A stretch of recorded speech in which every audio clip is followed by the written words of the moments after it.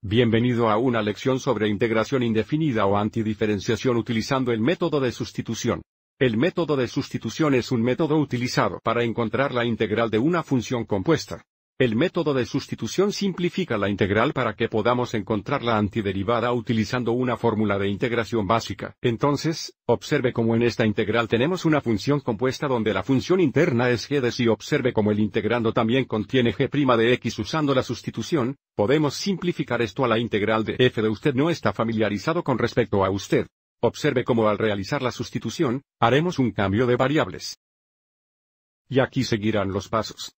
Paso 1 elegiremos una sustitución u es igual a g de x. Por lo general, es mejor elegir la parte interna de la función compuesta, como una cantidad elevada a una potencia. 2. Calcularemos el diferencial u donde el diferencial u es igual a g' de x veces de x. 3. Escribe la integral en términos de la variable u. 4. Encuentre la integral resultante en términos de u. 5. Reemplace u con g de x para obtener una antiderivada en términos de x. Y paso 6, siempre podemos verificar nuestra respuesta al diferenciar. Veamos nuestro primer ejemplo. Observe cómo tenemos la cantidad 2x a la cuarta más 7 elevada a la séptima potencia, por lo que la estrategia general es para permitir que la cantidad elevada a la potencia sea igual a usted. Entonces aquí te dejaríamos igual 2x al cuarto más 7. Entonces, parte del método de sustitución es reconocer que si te dejamos una parte igual del integrando, entonces su derivada también estará en el integrando. Observe cómo la derivada de 2x a la cuarta más 7 va a ser 8x a la tercera. Entonces, una vez que seleccionamos u, el siguiente paso es encontrar el diferencial de u, donde el diferencial de u será igual a la derivada de 2x al cuarto más 7 con respecto a x veces de x, entonces tendremos 8x a las terceras veces de x. Ahora mirando de nuevo la integral, Dado que u es igual a 2x al cuarto más 7, tendríamos el séptimo aquí. Observe que la parte restante de la integral es 8x para el tercer de x, que es igual al diferencial u. Aquí no siempre tenemos una combinación perfecta para el diferencial u, a veces tenemos que manipular esta ecuación aquí, pero en este caso tenemos una combinación perfecta. El siguiente paso es escribir la integral en términos de u, por lo que en términos de u tendríamos la integral de nuevo, esto es u hasta el séptimo, y luego 8x al tercer de x es igual a du. Observe cómo esta integral se simplifica muy bien a la integral de u a la 7a, integrada con respecto a u. Entonces, de esta forma, podemos aplicar la regla de potencia básica de integral dada aquí. Entonces tendríamos u para el séptimo más 1, eso es 8, dividido por 8 más c. Ahora si queremos 1 8 u al octavo más c, pero nuestro objetivo aquí es encontrar la antiderivada en términos de x no u. Así que ahora sustituimos 2x por el cuarto más 7 por u. Entonces, la antiderivada sería 1 8 veces la cantidad 2x para el cuarto más 7 elevado al octavo más c. Así que esta es nuestra antiderivada, lo que significa que la gran f de x es igual a 1 8 veces la cantidad de 2x a la cuarta más 7 elevado a la octava más c, y la derivada de la gran f de x debería dar la función integrando 8x a la tercera veces la cantidad 2x a la cuarta, más 7 elevados a la séptima. Vamos a ver esto. Big f prime de x es igual a 1 8 veces. Para encontrar la derivada de 2x al cuarto más 7 elevado a la octava, multiplicaríamos por 8 y luego tendríamos 2x a la cuarta más 7 a la octava menos 1 7 de potencia, y luego aplicando la regla de la cadena, multiplicamos por la derivada de 2x al cuarto más 7 que es 8x al tercero, y la derivada de una constante de 0, lo que simplifica. Observe aquí que los octavos se simplifican, por lo que nos quedaríamos con una f grande de x es igual a 8x a la tercera vez la cantidad 2x a la cuarta más 7 elevadas a la 7a, cuyo aviso es el integrando.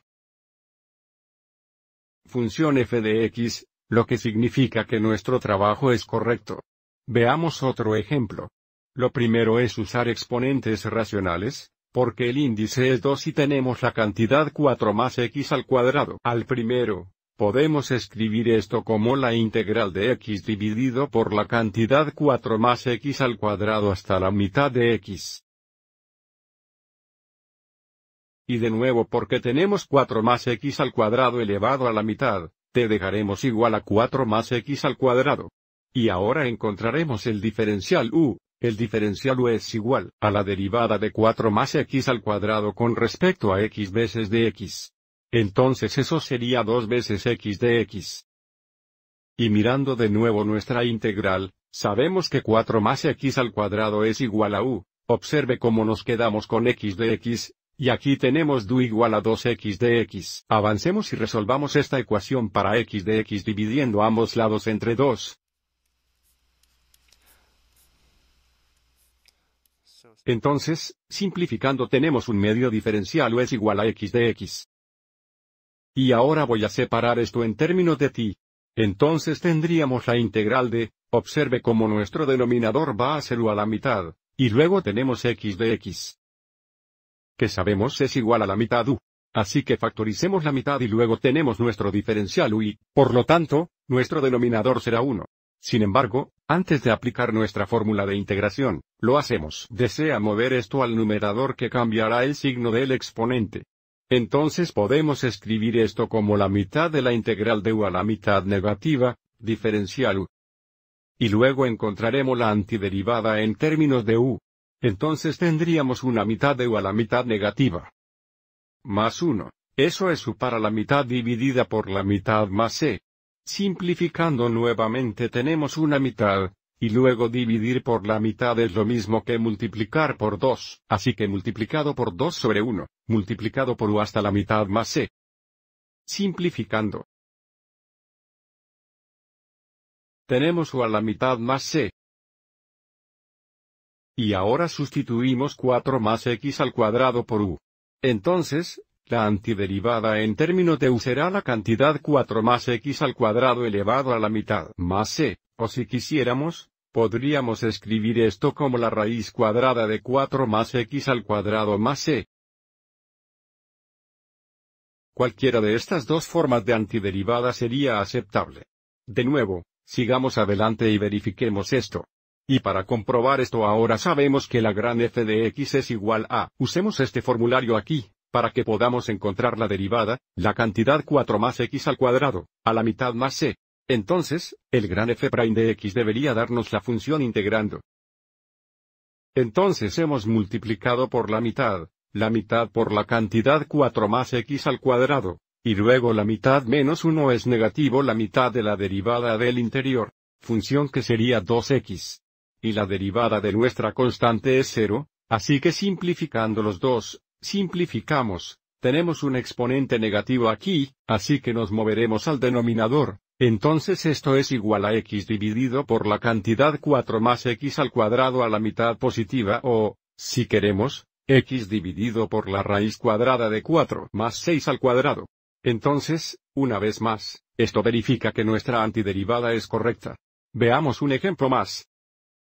Observe que aquí tenemos un exponencial con un exponente de 2x negativos al segundo, así que observe como el exponente es de grado 2, y tenemos un término de grado 1 aquí, por lo que le permitiremos igualar 2x negativos al segundo. Y ahora encontraremos el diferencial u, el diferencial u es igual a negativo 4x de x. Mirando nuestra integral no tenemos un negativo 4x de x, pero tenemos un x de x, Así que resolvamos x de x dividiendo ambos lados por un negativo 4. Entonces sabemos que un cuarto de un negativo es igual a x de x. Tenemos este coeficiente de tres negativos aquí, que simplemente factorizaremos. Así que escribamos esto en términos de usted. Nuevamente factorizaremos los tres negativos y luego tendremos la integral de, porque dos negativos x al cuadrado es igual a u. Tenemos y a la u y ya hemos factorizado los tres negativos por lo que tenemos x de x restante, x de x es igual a un cuarto de un negativo, así que factorizaremos fuera el negativo un cuarto. Y tenemos nuestro diferencial u. Simplificando nuevamente, tenemos una integral positiva de 3 4 veces d para el u, que es igual a 3 4 e para el u. Es negativo 2x al cuadrado y luego más c. Entonces, esta es nuestra antiderivada, lo que significa que la gran f de x es igual a 3 4e para los 2x al cuadrado negativos más c. Entonces, si encontramos una f principal grande de x, deberíamos obtener la función integrando tres elementos negativos en los dos x negativos al cuadrado. Entonces nuestra derivada será 3 4 veces la derivada t al negativo 2x al cuadrado, que será e al negativo 2x al cuadrado multiplicado por la derivada del negativo 2x al cuadrado que es negativo 4x. La derivada de la constante es 0. Entonces, ahora simplificando, tenemos un factor común de 4 aquí y aquí. Así que tenemos una f' grande de x igual 3 veces, esto sería ser negativo x, entonces negativo 3x, e al negativo 2x al cuadrado que nuevamente es la función integrando f de x. Entonces, una vez más, nuestro trabajo es correcto. Piensa que nos detendremos aquí para esta parte. En la segunda parte veremos cómo usar la sustitución para evaluar integrales definidas. Espero que hayas encontrado esto útil.